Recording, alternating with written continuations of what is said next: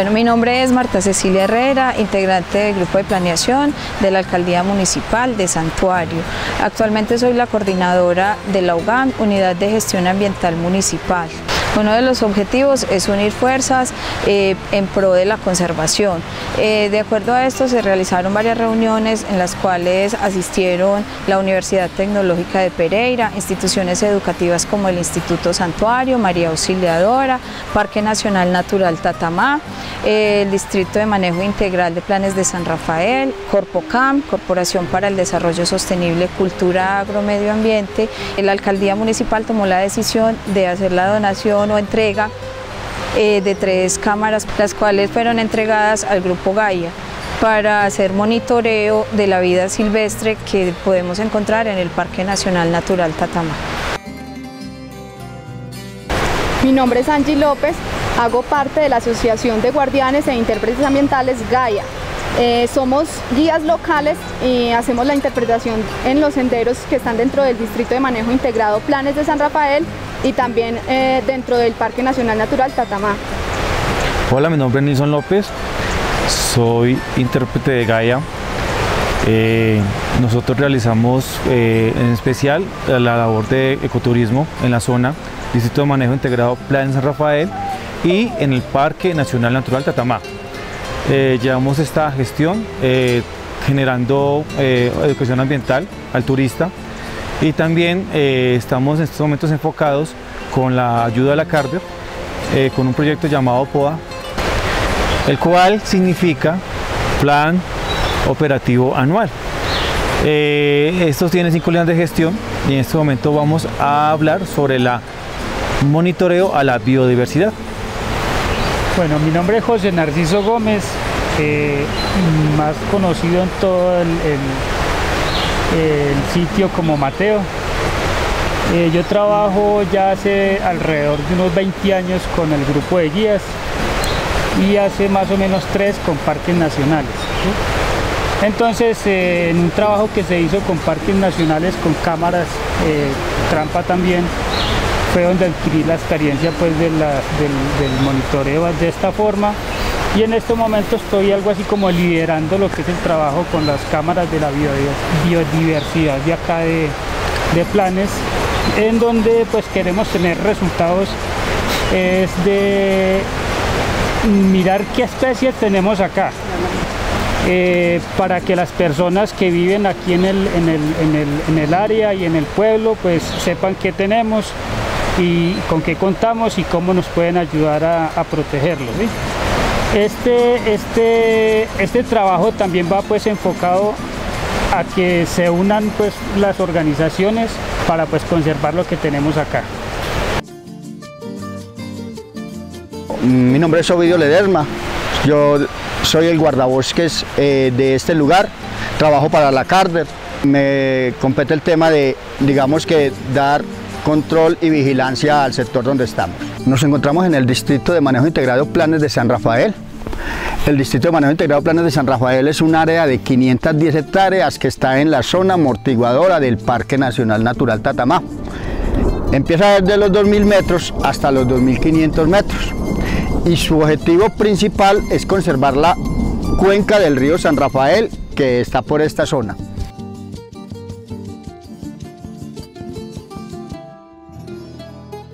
Anteriormente esto se declaró como un parque municipal y en el año 2011 pues tomó la figura de DMI. ¿Qué nos, qué nos implica eso? O sea, el parque municipal anteriormente nos permitía hacer un, esa figura nos permitía hacer investigación, conservación, educación y recreación. No nos permitía tener de pronto cultivos dentro del DMI o fincas de eh, predios particulares. En el 2011 que se dio la recategorización nosotros tuvimos la oportunidad de proponer esta, esta figura y hoy en día esta, eh, esta área podemos hacer las cuatro actividades ya mencionadas, pero también hay fincas, también hay sistemas productivos sostenibles y lo importante de un área protegida es que no sea excluyente de la gente. Parque, recordemos que se declaró en el año de 1995 y esto era un potrero. Este sendero se llama lluvia de semillas y es porque aquí la dinámica de lluvia de semillas se da permanentemente porque estamos en la, en la topografía, en la hondonada. Y las partes altas están cubiertos de bosques nativos que funcionan como fuentes semilleras. Pero también hay, también hay pues, digamos que condiciones para que las semillas se muevan. Tenemos aves, tenemos mamíferos, tenemos viento, tenemos humedad, entonces hay una, digamos que una oportunidad para que esa colonización o esa lluvia de semillas haya llegado y haya colonizado. En este caso podemos decir que la vegetación que nos ofrece el lugar, gracias a ese recambio de la sucesión, vemos que va a ser eh, interesante para la fauna o para otro tipo de fauna, en este caso el oso de anteojos. Aquí en esta zona, en las partes altas tenemos unos sitios donde podemos, donde hacemos el monitoreo y el seguimiento a, las evidencias de presencia de oso y anteojos. Ya hemos encontrado, eh, digamos que las evidencias claras que por aquí se mantiene y es gracias a ese recambio de la vegetación a las especies vegetales que hay. En las partes altas, como le digo, van a, eh, digamos que encontramos el roble. El roble viene a ser, digamos que, una especie bien interesante en, estos tipos, en estos bosques altoandinos, porque forma rodales puros. Pero también hemos encontrado que el roble o los frutos de roble son interesantes en la alimentación de, los anteojos. Otra, otra especie que podemos encontrar son los palmichos. Los palmichos, los laureles, los aguacatillos y algo muy importante son los higuerones. Los higuerones son declarados por nosotros en el sector como el restaurante del bosque. Soy John Eduardo Rojas Osorio, funcionario operario contratista del Parque Nacional Natural Tatamá, mm, trabajador calificado en recursos naturales y estoy encargado del apoyo operativo al monitoreo de especies en el parque. El Parque Nacional Natural Tatamá está escrito a la Unidad de Parques Nacionales Naturales de Colombia, adscritos al Ministerio de Ambiente y Desarrollo Sostenible. El Parque Tatamá tiene una extensión de 51.900 hectáreas en tres departamentos que son el Chocó, Risaralda y Valle del Cauca. En la zona del Chocó tenemos como zona amortiguadora los municipios de San José del Palmar en el sur y Tado hacia la parte del norte. En el Valle del Cauca tenemos el Águila y en Risaralda tenemos eh, La Celia, Santuario, mm, Apía y Pueblo Rico.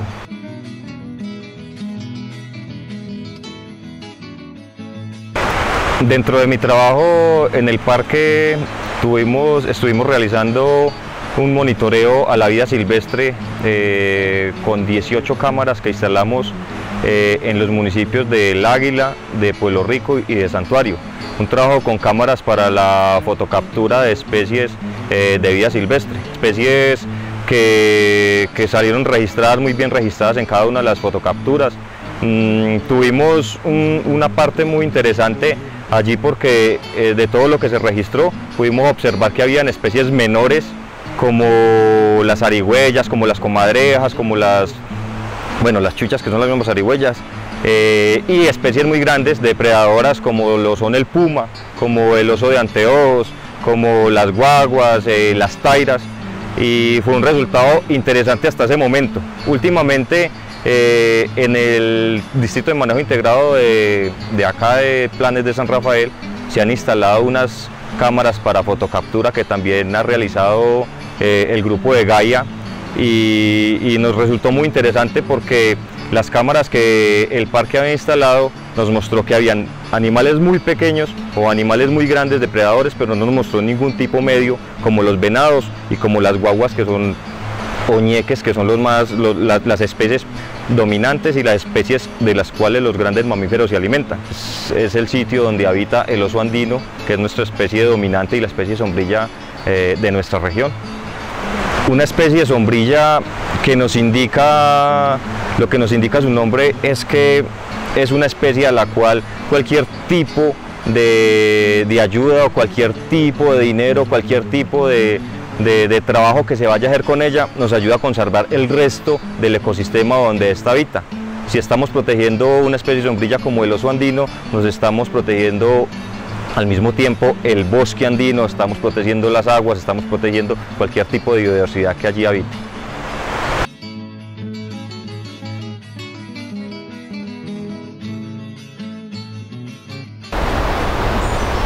Soy Maribel Incapié, docente del Instituto Santuario de Básica Primaria en la sede John Fitzgerald Kennedy. Nosotros eh, pertenecemos al grupo de investigación Gallitos de Roca y desde la básica primaria venimos desarrollando un proyecto de investigación sobre insectos. ¿Qué papel cumplen los insectos en el, en el ecosistema y en nuestro entorno? Para ello, entonces, los niños están vinculados a través de actividades pedagógicas dentro y fuera del aula. El reconocimiento del contexto para nosotros es importante y nosotros nos apoderamos y nos empoderamos de nuestro Parque Nacional Natural Tatamá conociendo su biodiversidad en cuanto a insectos y abejas.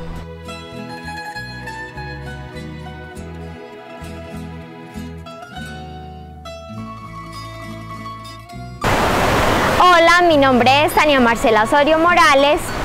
Y yo, Juliana Rojas. Hacemos parte del grupo de investigación Gallitos de Roca de la institución educativa Instituto Santuario, con el cual hemos podido hacer salidas para hacer registros de, pequeños mamíferos como el guatín, el armadillo y muchos más. Nos hemos unido con el SIGA de la UTP, el Gaya, Corpocán y el Parque Nacional Natural Tatamá para registrar grandes mamíferos. Hace dos años que venimos trabajando con estas cámaras de registro de vida silvestre y hemos podido compartir a la comunidad y a todos nuestros compañeros, a las instituciones y a todos los que nos apoyan en los eventos. Me gusta esto porque puedo conocer muchas cosas nuevas, animales, personas, aves y muchas cosas más. Hemos podido registrar también la vegetación y algunos mamíferos grandes, pequeños y medianos.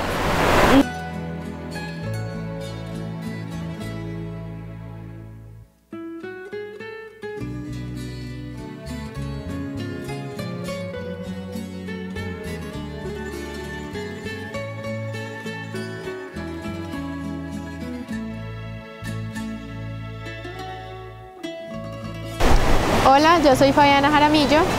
Y yo, Felipe Vélez. Eh, somos integrantes del Semillero de Investigación y Gestión Ambiental de la Universidad Tecnológica de Pereira y estamos acompañando a Santuario en todos los procesos. Nosotros llevamos cerca eh, de tres años eh, acompañando el Semillero de Investigación Gallitos de Roca del Instituto Santuario. Hace aproximadamente un año empezamos en la tarea de investigar los pequeños mamíferos que se encuentran en las fincas cafeteras cercanas al casco urbano y tuvimos la oportunidad de conseguir unas cámaras de vida silvestre por recursos propios. Eh, hace poco las instalamos en, el Distrito de Manejo Integrado Planes de San Rafael y captamos eh, el oso, el venado, eh, también pequeños mamíferos como los antes mencionados y estamos aquí en la tarea eh, de seguir apoyando este tipo de experiencias eh, para la conservación de la vida silvestre. Mi nombre es Paula Alejandra Trujillo Mezquita, soy docente de la institución educativa María Auxiliadora. Acompaño el proceso de investigación de la biodiversidad en el Parque Nacional Tatamá con la utilización de las cámaras trampa. Escogimos la utilización de las cámaras trampa porque es un método indirecto para que los chicos de los colegios identifiquen la fauna y la flora que se encuentra en el distrito. Además, es una muy buena manera de acompañar a los muchachos en la identificación de todas las especies para que ellos, con la finalidad de que ellos la conozcan, la identifiquen y la preserven. Aquí estamos en una de las cámaras con las cuales estamos haciendo el, trabajo de monitoreo de la biodiversidad aquí en, en Planes.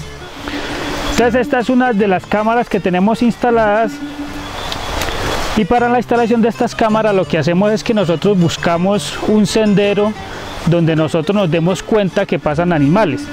Entonces allí instalamos las cámaras, colocamos más o menos en un ángulo donde va a coger el sendero por donde van a pasar los animales. La cámara acá por ejemplo se colocó por lo que había un sendero donde presumimos que iba, para, iba a pasar la nutria. Así pasó el venado, pasó, pasaron algunas arigüeyas algunos, eh, y algunos mm, armadillos. Pero el, registro de venado fue, fue muy bueno, entonces eso era algo que no teníamos. Entonces nosotros lo que hacemos es que nosotros las instalamos y estos neumáticos que le colocamos acá es más, es más como para protección de las cámaras, porque hay animales que ellos llegan y lo primero que hacen es coger la cámara y moverla. Entonces la van a, la van a descuadrar o la van a arrancar.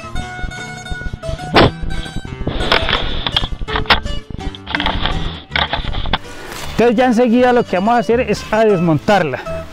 Cuando nosotros vamos a instalar las cámaras, lo que hacemos es que las traemos, las instalamos, traemos un computador que ya enseguida también lo vamos a ver y la colocamos en, de forma eh, que nosotros veamos que va a capturar lo que nosotros queremos capturar.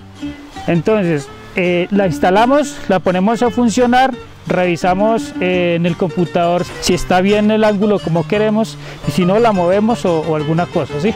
Estas cámaras están pues programadas o, mejor dicho duran las baterías le pueden durar hasta tres meses seis meses aquí instaladas ¿sí? Eh, nosotros lo que hemos hecho con las otras es que las colocamos y al mes vamos y las revisamos. Aquí como estamos en un sitio cercano más o menos a 200 metros 300 metros del centro de visitantes entonces podemos venir a revisarla cada ratico y es lo que vamos a hacer ahorita. Bueno entonces en este momento vamos a, sacar la, memoria para ver qué, qué, qué imágenes capturamos acá. Eh, pues primero se apaga, se deja un ratico que él procese y ya enseguida vamos a sacar la, la memoria.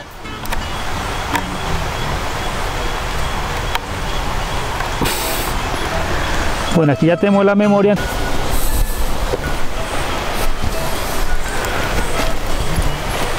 Bueno, entonces aquí tenemos el computador ya listo y vamos a revisar las imágenes que tenemos estas cámaras trabajan con sensores entonces cualquier cosa que se mueva ella se va a activar. Esta la tenemos para que capture solo video pero también capturan fotos